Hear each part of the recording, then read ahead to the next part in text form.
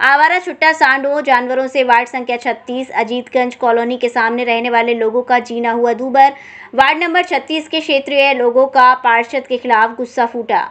Ward number 36 के Ajitganj colony में आवारा जानवरों का हर वक्त जमावड़ा लगा रहता है। कोई भी बड़ी घटना घटित हो सकती है।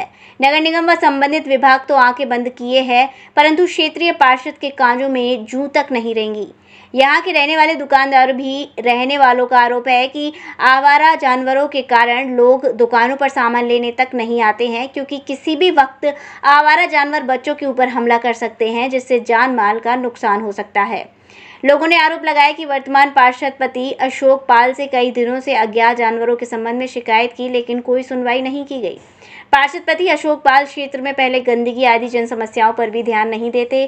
क्षेत्रीय लोगों ने मीडिया के सामने से शासन प्रशासन से आवारा जानवरों को कांधी हाउस भिजवाने की मांग की है। क्या नाम है भाई आपका? मेरा नाम अब्दुल इखलाक है। क्या मामला है आपको?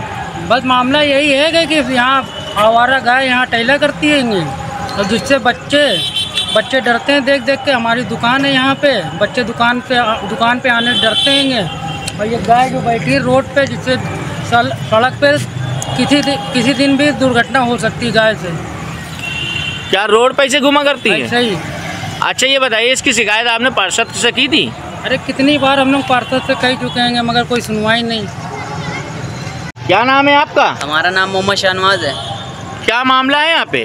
हमारा लोग का मामला ये है कि भाई हम लोग यहाँ बैठे रहते हैं और जो है तमाम तरह के बच्चे निकलते हैं। बच्चों को ये जो गाय बैठी हैं ये मामला हम लोगों का है।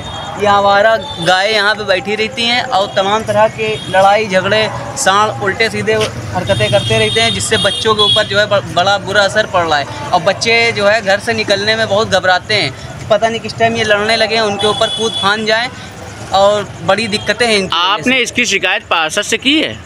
हम लोगों ने कई दफ़े हम लोगों ने जो है यहाँ के क्षेत्रीय पार्षद से इसकी शिकायत करी है। इसका कोई हल नहीं निकला। वो कहते हैं कि ठीक है आपकी गाड़ी भेज देंगे जानवर पकड़वा देंगे, लेकिन कोई नहीं सुनता। नर्सिंग होम जहाँ आपको मिलती हैं विश्व स्तरीय चिकित्सकीय सेवाएँ आँखों की जाँच, dental surgeon eye care centre आदि अन्य सुविधाएँ केवल एक ही छत के नीचे। उपल नर्सिंग होम जहाँ के प्रमुख डॉक्टर्स हैं Vishal Uppal doctor Jayati Uppal doctor Veena Uppal doctor R K Uppal Uppal nursing home Shankar Vihar bank colony Mathura.